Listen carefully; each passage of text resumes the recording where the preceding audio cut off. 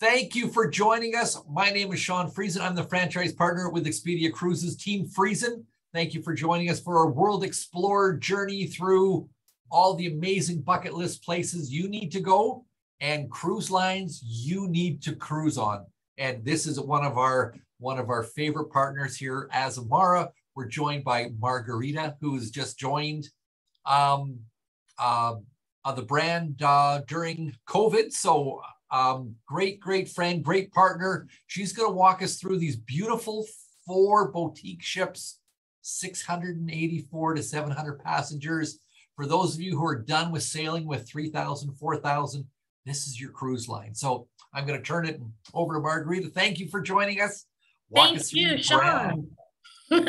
so I am Margarita with Azamara. I cover Eastern Canada. And as Sean said, I did get hired during the fantastic pandemic, which I feel so blessed to have been able to join the company. As he says, we have four boutique ships, so uh, carrying between 680 and 700 guests with a crew of 400. Um, we've got the pursuit, the quest, the journey, and the new onward. So we're really happy to have all four ships in the water. We have changed our brand marketing and we really want to make this statement a bold statement of who we are. So Azamara lets explorers immerse themselves in cultures and locales at a more relaxed pace, discovering destinations by day and night resulting in a richer, more fulfilling small cruise experience. And I love that about us because we are not rushed. You get closer to the destination because of the size of the ship, and you also get to explore more of the region because we do get so close and stay longer in port. Where do we go? all over the world. So I am limiting uh, this talk today on three specific destinations. One will be Greece, one South Africa with Micato uh, post or pre cruise experience. And then why not talk about the world when we have a world voyage in 2024? So, as I said, we do go further. We have smaller, um, less traveled ports. So we get you right into the heart of these destinations. Anything after 8 p.m. is considered a late night stay. And we have 275 late night stays and 140 overnight stays. We have curated shore excursions, pre and post land excursions. So we do really like to dive into that culture and we consider ourselves a destination immersive brand. So, what are our pillars? Of course, the immersive experiences. We own the night because we stay in ports overnights. Um, we have country intensive voyages, whether or not it is Greece, South Africa, or maybe it's France, Spain, many, many ports in Europe. Nobody does Europe like we do. And I have a couple of slides to show you exactly how close we get to the destination. So we go to ports that the bigger ships simply cannot get to. The other nice thing about us is our crew are friendly, they are approachable, they are helpful. We have consistently rated number one in hospitality among all the premium brands. Um, and we do have an authentic, warm experience international cultures on board. We've got 50 different international um, countries that are employed on board our ship, and people will follow our crew on social media. They will call and say, Who is the captain of that ship at that time? And that sometimes is how they make the decision on where they're going to go. So our crew plays a huge part. And then these unique experiences. As I said, we curate our cultural experiences based on what our clients um, really want to see. Our AzAmazing evenings are coming back next year.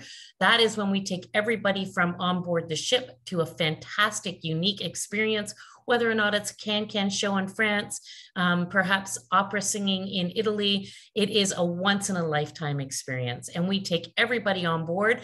Right now, we have our destination um, celebrations where we bring everything on board the ship.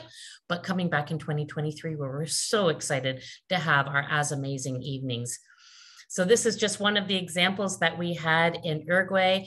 Um, it was a carnival experience and you can see there's everybody from the ship looking at our wonderful cruise director, Tony, as he's introducing the local talent. So let's just go through the ships really quickly before we dive into the itineraries. It is a boutique hotel. So we like to think of it as um, very warm, very friendly, and very easy to find your way around. So this is the main entrance where you will board the ship. There is the guest relations right behind us. As you walk up the steps and to the left, there's Mosaics Cafe. To the right, there's a number of different um, shops available. So it is a, a really warm and friendly environment on board. As far as suite accommodations, we tend to book from the top suites down. So if you are looking for specifically the spa suite, which is one of our favorite suites on board, book early because there is such limited availability for these suites. Then we go into our Club Continent suite, which is our introductory level suites. And I like to start with the suites because that is where we get the most interest. People like the balconies, they like the amenities. Our suite accommodations, you'll see in the larger picture on the right hand side, a bar setup and that is included when you have suite accommodations. Also included is butler service. We have complimentary specialty dining when you're in a suite. You also receive complimentary laundry, one bag of laundry for every days at sea. And there are all of these fantastic amenities. When you get into the higher end suites, like the World Owner Suite, there is also onboard credit as well. Then we have our Club Veranda. This is incredibly popular. We have Club Veranda and Club Veranda Plus, and that's sort of if you're not quite ready, ready for a suite, but you still want the balcony to have as you pull into port, have that own experience, or having a cocktail on the balcony with um, uh, underneath the stars, having a, a pre pre-bed cocktail. It is fantastic to have that experience. But we do also have uh, ocean view staterooms and inside staterooms. In fact, 10% of our inventory is inside staterooms. Somebody actually at an agency yesterday said that they have clients who book inside staterooms for their luggage when they do world voyages. So some people like it to sleep in, other people use it for different reasons. But um, the living room main main social area. Great for uh, afternoon tea. We also do tapas and wine. Um, it is also a fantastic uh, place to meet after dinner. Between the um, the entertainment of the live band that switches over to the dj services later on in the evening it is the main hub Talking about food and cruise ships, they go hand in hand. Our main dining room is Discoveries. All of our restaurants, um, with the exception of the specialty dining restaurants, are open seating, meaning you can dine when you want, with whomever you want, a table for two, a table for 10. We are happy to do that. Discoveries is linen tablecloth service. It is also breakfast, lunch, and dinner. There is a bar right before you enter uh, Discovery. So if you want to have a pre-dinner drink, meet some new friends, it is a great place to do that. The patio and windows are our outdoor dining, um, basically buffet style during breakfast and lunch. In the evening, it does turn into tableside service, and it's great for when you're in those warmer tropics to have that alfresco dining experience in the evening. Prime C is steakhouse and it is a specialty dining area. It is $35 per person. It's a four course meal, including wine. Um, and it is something that I would say book early. They're very, very popular. So if you're celebrating a special anniversary or a landmark birthday, you want to book these uh, dining rooms early. Prime C is steak, Aqualina, seafood Italian, and they are intimate. They are incredible service and the food is just top notch. As I say, the heart and soul of our brand is our crew. Um, they have been to many of the ports. They are willing to share their experiences with you. They are fun, they are welcoming, and we do literally say the first time you come on board, you may be a guest, but after that, you are considered family. The main focus of our brand is the late night and overnight stays. I love these pictures because it shows the ship in the evening and it shows how close to the ports we are able to get. So whether or not we can get in close to the port, whether or not we need to tender in close to the destination, or uh, coming back in 23, we hope to have our shuttle service available as well. So we do country intensive voyages, whether or not it is South Africa, we're going to touch on that. We're going to touch on Greece. But keep in mind, that because we go all throughout the world, we also have Japan, South America, um, West Africa, and Asia as, as well.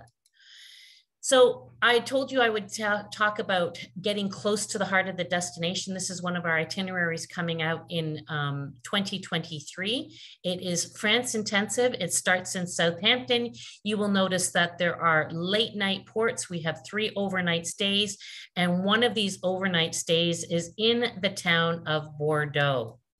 So when most cruise lines go into Bordeaux, they will dock in La Rochelle, which is just north of Bordeaux. Whereas our nice little vessel of 30,000 gross tons, we go right down the Gironde River into the heart of Bordeaux. And what that means is that you are arriving into the heart of the city where you can experience this majestic city by day as well as by night. And then perhaps the next day go and tour some of the wine regions in the area. Um, I just saw on Facebook uh, clients of ours that have been in Bordeaux and have done wine tastings at two of the wine regions. Um, so it is fantastic, not only that we get so close, but that we stay so long and you can relaxingly visit these destinations. So in 23, we have um, over 20 voyages that go into Greece. The thing I love about Greece is they were the first country to welcome cruising back. Um, we do Greece, as I say, like no no one else. This itinerary will be starting in um, uh, not Venice. It will be um, Bologna, but we will be going from there to Corfu. We have late night stays in several of the ports, and we're going to just highlight some of those ports now. So the, this itinerary is um, going into Mykonos as well as Rhodes, where we have um, beautiful stays here. So Mykonos is cobblestones, um, artisans shopping. It is considered the Ibiza of Greece, and it is a must do when you go. It's one of those iconic sites. Rhodes really is a, um, a beautiful town, lots of cathedrals. The, the shorelines are beautiful. Um, when we go into Kusadasi, which is Ephesus, is the main area here, marble stone streets. We actually um, have one of our AzAmazing evenings in Kusadasi, um, was actually in Ephesus. Marble Streets, um, it used to be the second largest city in the Roman Empire. So lots of history and culture. Santorini is one of those iconic places that you also must go to. And I love that when we go to Santorini, we have a late night departure. Sometimes we leave at 10 p.m. On this particular sailing, we leave at 8 p.m. But it is nice because a lot of the ships that go into Santorini want to leave around the dinner hour. And if you do that, you miss the incredible sunsets. So there's nothing like sitting in Franco's bar overlooking the uh, caldera as the sun sets. And it is a fantastic thing. So the ship sails um, into Fira you can either take the donkey ride, the funicular, or you can walk up. So you can take your time coming up. But if the ship leaves at the dinner hour and all the ships are leaving at the same time, you must decide early how you're going to get down to avoid the lineups. Whereas when we're there, you can relax. By the time you get back to funicular, you're the only people there, and you feel like you've had the island to yourself um, for several several hours on your own. So it is really terrific. I was fortunate enough to go to South Africa this past year. Um, Cape Town is like nothing I've experienced. The people so warm and friendly. Um, the food probably the best I've ever had in all facets between seafood, um, steak, pasta, um, Asian flair. So it is a great mix of Asian, African, and European cuisine. This itinerary, we've got six ports, it's 12 nights, and we overnight in Cape Town on the return. Um, so this itinerary is on the journey. It is in February of 2023. Um, a beautiful itinerary. And the focus of this itinerary is really getting to dive into that South, South African um, culture, which is, as I say, wine, food, and friendly people.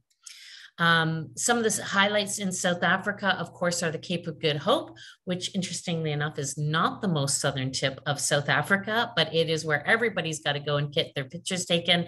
Um, it is where the um, it is the southern southwesternmost point of South Africa, and of course, we had to go there and get our photos taken. It is also world renowned for its wine, and I could not believe how affordable the wine was in South Africa. So you can do cycling tours of, of it. You can go to Table Mountain. The views are spectacular. Um, of course, the marketing and the gold markets are, are fantastic there as well.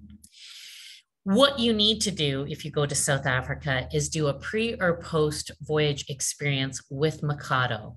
And the one that I'm featuring today is the wild wonders of the world, including Victoria Falls and the Botswana Safari.